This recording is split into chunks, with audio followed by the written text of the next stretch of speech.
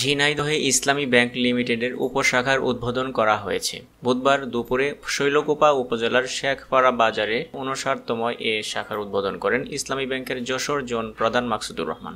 ইসলামী bank Jhenaidah শাখার শাখা প্রধান মিজানুর রহমান এর সভাপতিত্বে অনুষ্ঠানে অন্যান্যদের মধ্যে উপস্থিত ছিলেন ইসলামী বিশ্ববিদ্যালয়ের শিক্ষক সমিতির সাধারণ সম্পাদক প্রফেসর ডক্টর মোহাম্মদ মুস্তাফিজুর রহমান, শেখপাড়া বাজার বণিক সমিতির সভাপতি আব্দুল হাকিম মোল্লা, সাধারণ সম্পাদক রাজাউল ইসলাম খা, শেখপাড়া উপশাখার ইনচার্জ মোস্তাক আহমেদ প্রমুখ। এছাড়াও স্থানীয় ব্যবসায়ী নেতৃবৃন্দ উপস্থিত ছিলেন। ইসলামী শরিয়াহ মোতাবেক পরিচালিত ব্যাংকটি এলাকার ব্যবসা বাণিজ্যে ও কৃষি উন্নয়নে ভূমিকা রাখবে বলে জানান বক্তারা। পরে ফিতা কেটে শাখার উদ্বোধন করা হয়। ইসলামী ব্যাংক বাংলাদেশ লিমিটেড শেখ বাজার।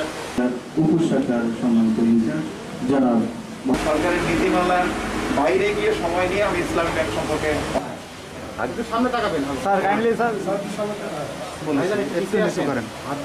করেন ওই সাইডটা নিচু করেন।